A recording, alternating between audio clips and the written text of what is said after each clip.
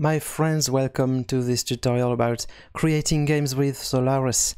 Today we will make another example of enemy and this time I want to show you how to make an enemy that has multiple sprites.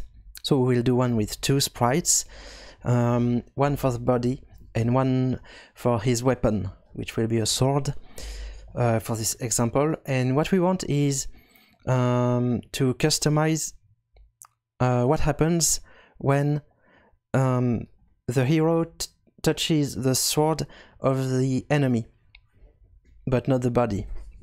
So how do we do that? Um, first, for this example, I will import from Solarus Free Resource Pack two enemy sprites that comes from Zelda Mystery of Solarus DX. Uh, this B-Guard which is uh, not uh, a new sprite done by Newlink for, for that project um, in Zelda Link to the Past style. Import, so I'm importing a PNG file and two sprites, B-Guard and B-Guard weapon. So let's see. Uh, so the PNG file is uh, like this. It contains the yeah, the pictures for our two sprites, one for the body and one for the sword. This is the body, B-Guard, and this is the, the sword, B-Guard weapon. Okay? So how to make an enemy that will have both of these. So um, first we need to create the, the new enemy model. Uh, B, oops, file name is B-Guard so it has to be the same name, preferably as the main sprite.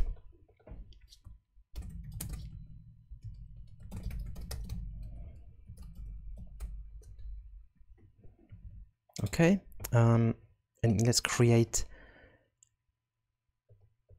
one instance of this enemy here, B-Guard, and that's it. And we can make it look um, this direction here. Okay.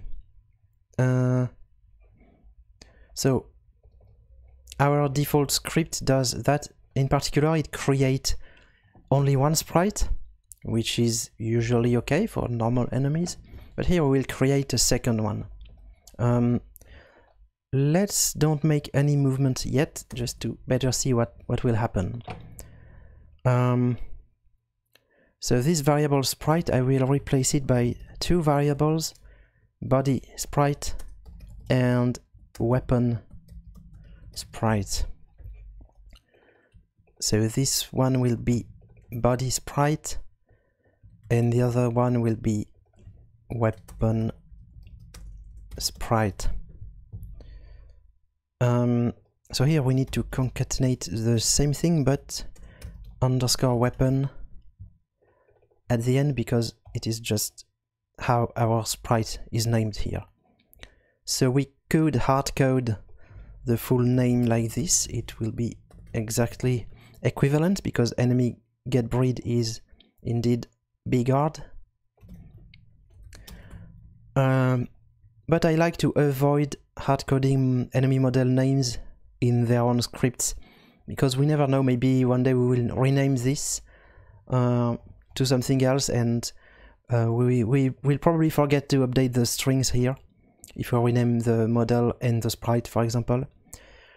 And also if you create multiple enemy models that have similar behavior uh, like this with one body sprite and one weapon sprite you will be able to have just this code that works for uh, no matter wh what is the the current exact model name of the enemy.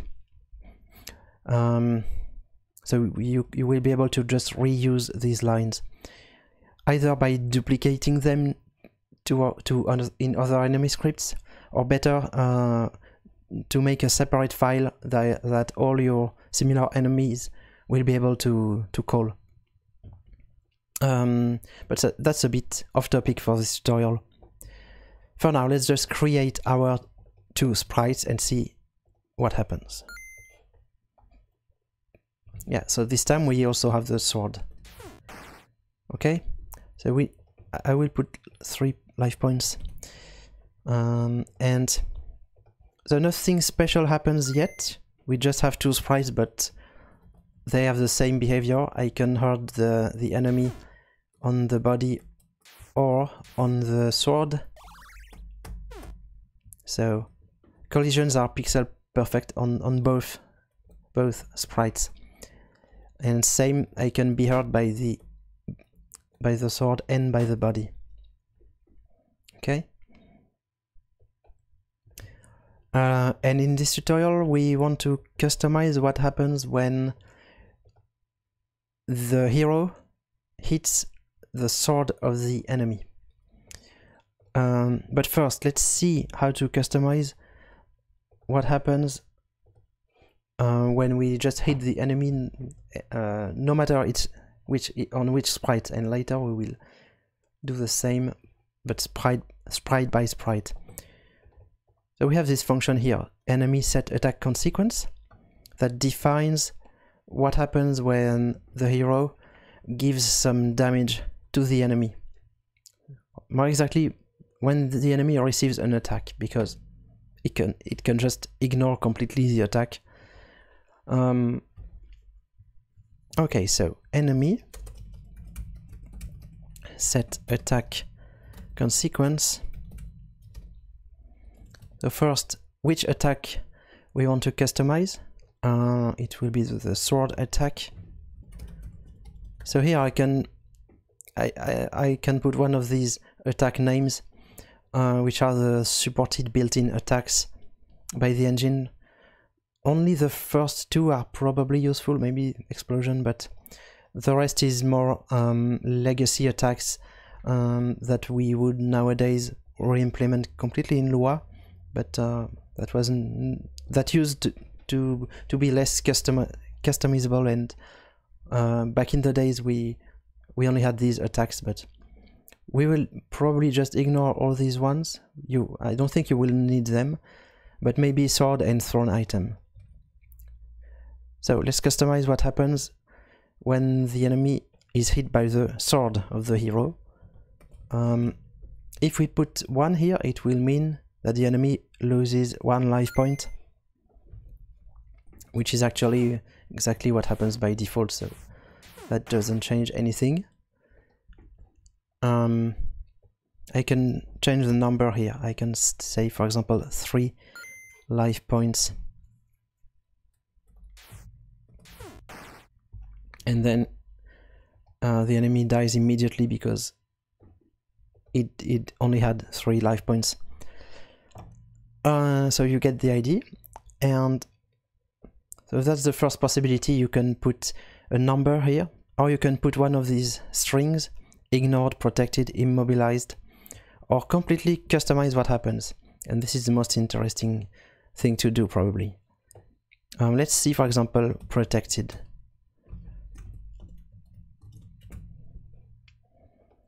Protected means like the enemy is using its shield to block the attack. Or ignored. This will just do absolutely nothing.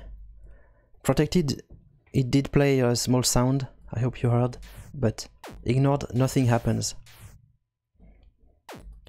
And um, yeah, all of this applies to what happens when the hero attacks the enemy not the other way. Uh, when the enemy attacks the hero, um, it's also possible to customize it, but uh, we will not cover this in, in this particular tutorial. But you can ask on Discord. Um, okay, and the first parameter again is the the attack, the which attack is received by the the enemy. So you can say, for example, thrown item. It will mean that when we throw an item, so that means, for example, a, a stone, something that we can lift. Uh, let's let's create a destructible item with the sprite stone. And if I throw the, this stone, nothing will happen at all. The, the stone even uh, gets past the enemy it's not even destroyed because we set here to ignored. We could say protected, then the stone would break on the enemy. Like, let's say he has a good shield. Or again, we can put some number of life points here.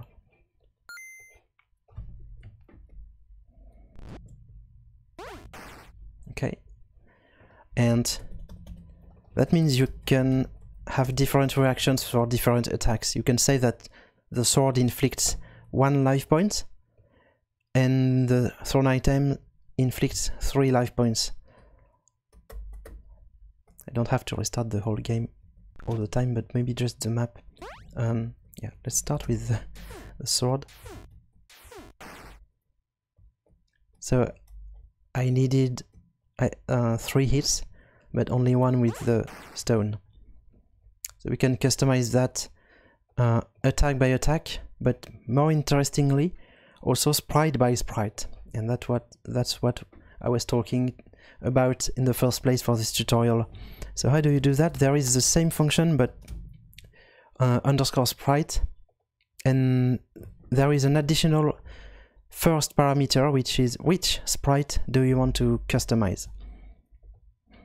Uh, let's say we don't want to change anything on the body sprite, but just uh, make the the sword of the enemy protected. So this time, if I hit the sword, it will just make this small sound, but the enemy will not be hurt. And if I hit the body, it, it will still be hurt normally. Um, one thing to note is that here I only customized the the um, the sword attack of the hero, so I I didn't uh, mention anything about the other attacks. If you want the thrown items not to um, hurt the enemy when the thrown item touches uh, the weapon of the enemy then you also want you will also need to customize thrown oops item. Maybe something like protected. So as you prefer. And now I want to make something slightly more interesting. Uh, I I want the enemy to be pushed back when we hit his sword.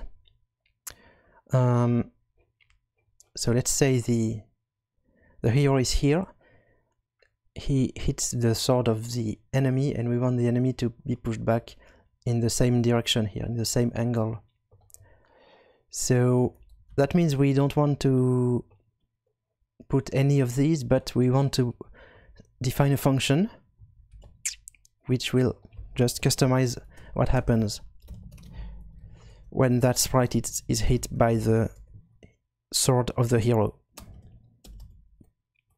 And what we want to happen is, well, as I just said, we want to create a, a movement.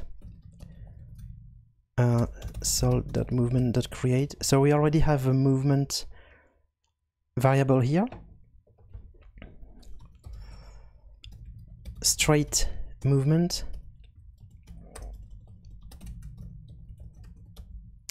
So which angle, as I was saying, um, the hero is here, the enemy is here, we want to continue in the same direction, so that would be the angle from the hero to the enemy. So we can just do hero get angle to enemy. Um, so you could do the computation yourself, but there is this handy function that does it for you based on the coordinates of both entities semicolon here. Uh, speed, let's say 96. And let's stop the movement after some distance, like 32 pixels. And that's pretty much it. Let's start the movement on our enemy. Um, wait, I also want to play some sound. Uh, sword tapping, this will actually be the same sound as the one we had before when we used uh, the protected mode here.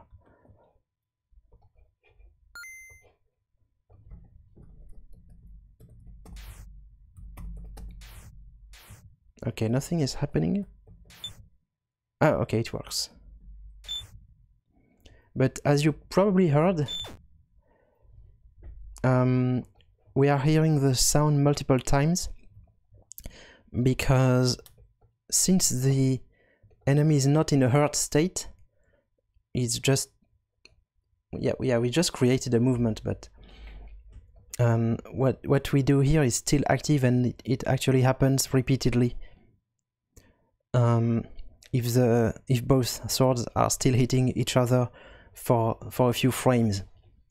So what we want to do is probably to store the state of the enemy. Uh, we have two states, the normal state and the state uh, being pushed. It's, it will be a boolean because we only have two states like we did in a previous tutorial. So initially it will be false. Um, and here we will set it to true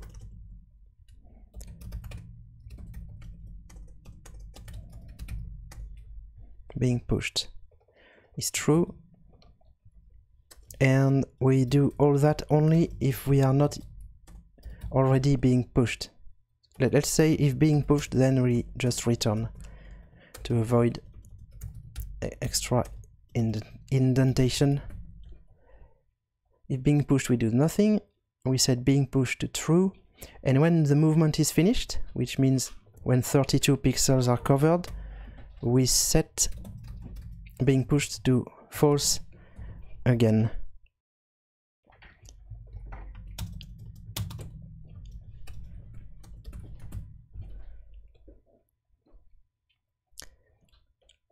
and that should work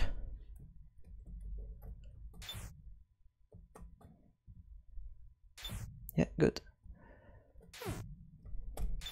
And the only strange thing is that we did not define anything at all when when we are in normal state. Um, because I, I initially removed what we had there just to better see uh, when we hit the sword or the body.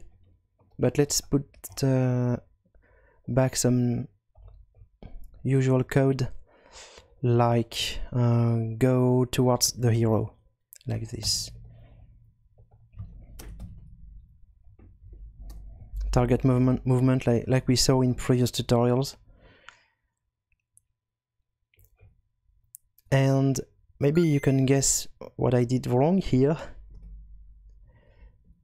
Well, two things. First, the sprite is not uh, updating its direction based on, on the movement, but we'll, we'll fix that. But also, if I hit the guard when the being pushed state is finished well we are not uh, the, the the the enemy is not moving anymore because this is not called again. So we should just restart the enemy.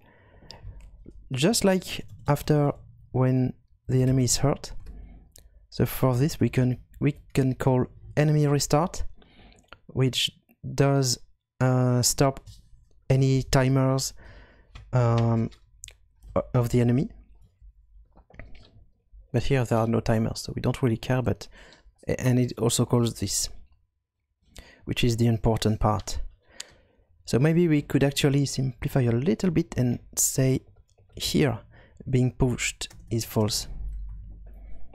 I mean, I don't know if it really simplifies the the code, but I like it I like making make putting this here because it will also be reset to false when um, the enemy was being hurt.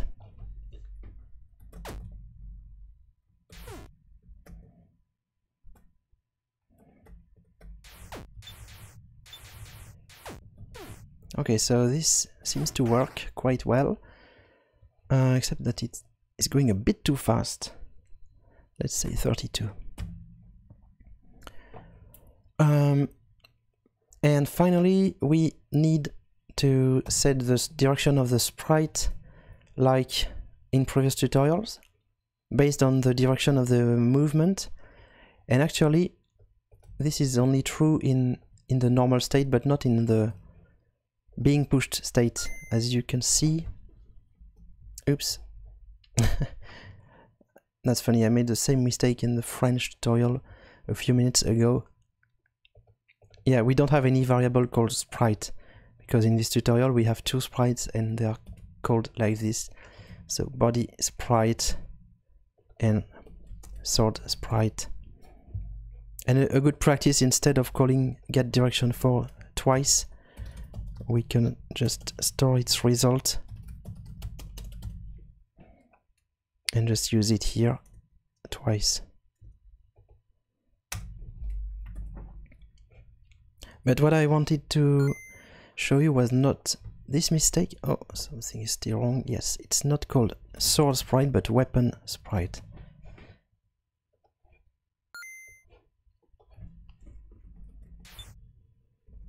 Okay, so now the enemy is indeed uh, looking to the same direction as uh, its movement, but that's completely strange when we when we push him back we would like to well like like when he's hurt actually we would like him to to stay in in the same direction. So this code here should not happen when we are in uh, being pushed state. So let's say if not being pushed then this. And now we should be good. And 32 is a bit slow. Let's say 48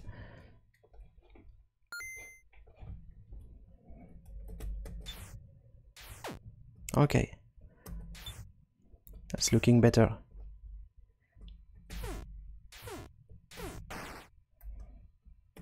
So we, we almost reproduced the same movement as um, what happens we when we uh, hurt the enemy.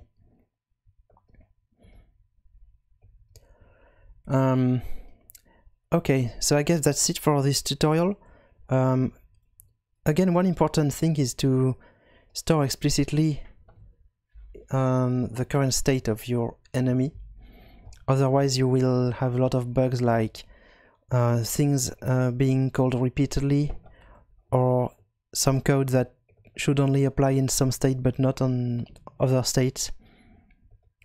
Um, so that will really help you storing the state here. So here it's a simple, still quite a simple enemy because it has only two states. So I stored it as a boolean. But if you have more, probably you want to store um, maybe a string or something that has more value than a, bool a boolean. Um, yeah, so I guess that's it for this tutorial. So we saw how to customize um, what happens when the enemy is hit by the hero on different sprites. Uh, just for information, if you want to do the opposite, uh, which means customizing what happens when the hero is attacked by the enemy, there is this event here, this event here on attacking hero um, that we will maybe cover later.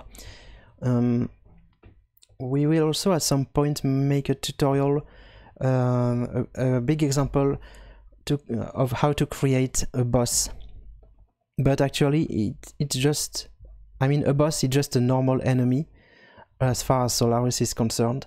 It's just that you will probably use uh, larger sprites and put more life points here and more damage and more states and more attacks, more timers. Mm, but uh, apart from that, is there there is no uh, difference from the point of view of the engine between a normal enemy and a boss. Um, okay, and yeah, boss often have multiple sprites, of course. Sometimes even more than two. And sometimes they're also composed of multiple uh, enemies even that's that's also possible like we saw um, for example at some point we in, in a previous tutorial we made uh, an enemy that was shooting some flames. So that was actually uh, already an example of using two enemies. Um, okay. So I guess that's it.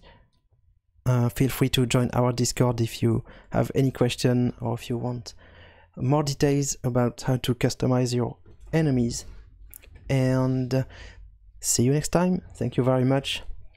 That's all for now